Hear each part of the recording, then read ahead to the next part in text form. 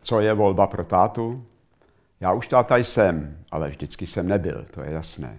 My máme program především pro ty, kteří tátové jsou nebo budou, a nebo pro ty, kteří mají tátu rádi. Kdo má tátu rád? Každá dcera přeci. To byla jen taková hádanka.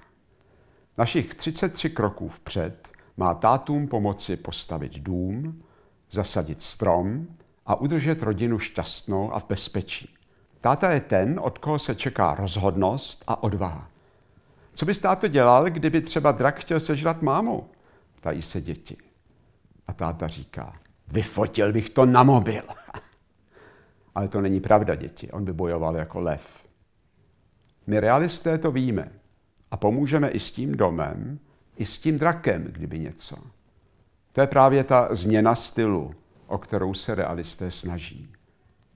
A já jsem realista.